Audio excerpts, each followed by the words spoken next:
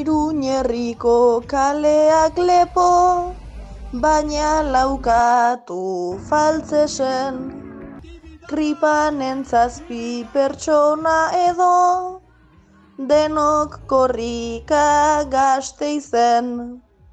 Zentzu horretan irudi denak hasi ezkero aletzen, naiz eskuz esku ibiltzen garen gure herria saretzen, herri txikiak behar ditugu, hiriak bete daitezen.